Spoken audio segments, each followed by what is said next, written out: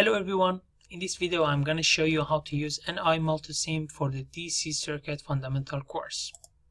First thing, you run the program. Right now I have version 13. That's how the program looks like. Uh, there's a main window that you put your design for simulation. On the left side you see another window called Design Toolbox.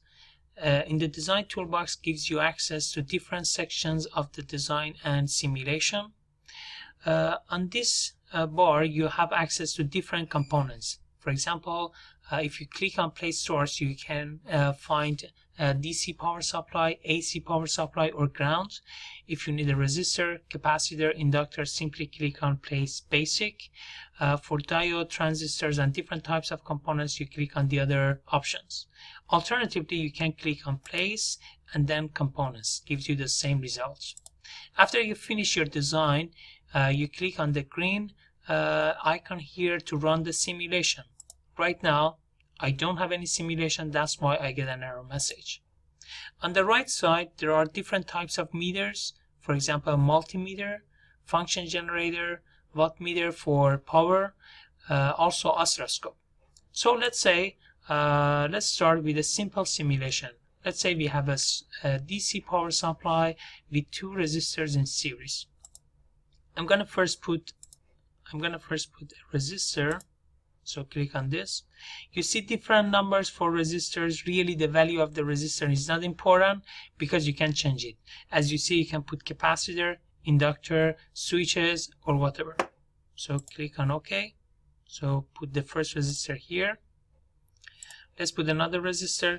If you want to rotate it control R rotates the components. So right now you see that I can rotate so let's say I put it here and close. Uh, we need a power supply.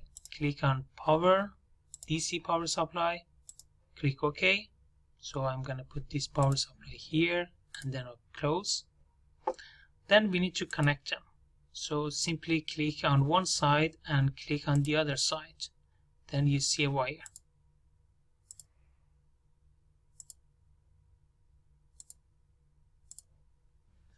If you want to make sure that the wire connections are right, so simply drag the component to left or right and you see that the wires are moving. So that gives you uh, confidence that the connections are correct.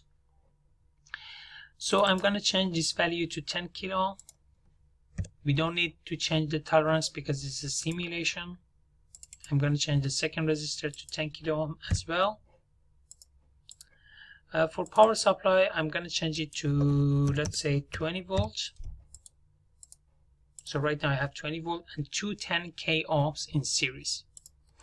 Now let's say that I'm going to measure voltage. So I put a voltmeter. I connect the positive polarity to the upside here and negative polarity to the downside of R2.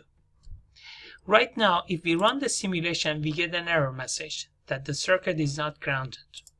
For every simulation, you must define a ground. So simply click on ground, choose a ground, and let's put ground on the negative side of the power supply. Run the simulation again, and you can see the voltage, which is 10 volts, and it's DC signal. That's why it's clicked on the DC side. If we want to measure current or if we want to make any changes into the design, first stop the simulation. So for example, if we want to measure current, first delete the wire, place another meter. So I'm going to put it here. Let's move it little bit. You know that for measuring current, the meter should be in series. So I'm going to put it in series with this resistor. So right now, XMM2 is in series for measuring current. XMM1 is in parallel for measuring voltage. So double click on it, change it to A, which stands for amp, run the simulation, and it's almost 1 milliamp. There are some numerical errors in the in the simulation. uh, that right now you can ignore it. So if you want to change the polarity of uh, voltmeter, for example, again, delete the wires.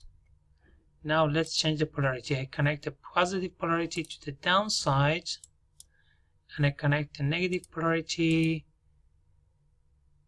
to the upside. You run the simulation again. Now you measure negative 10 volts. If you want to save your simulation file, simply click on save, give it a file name, and save it somewhere in your computer. There are also different options. For example, you can see breadboard view. That simply mm-hmm. you click on this, and then you can build your circuit in breadboard. Because I added breadboard right now in the design toolbox, you see another uh, line for this one. Because we don't need it right now, I'm going to remove it. So remove from the design. And this concludes uh, introduction of multisim thank you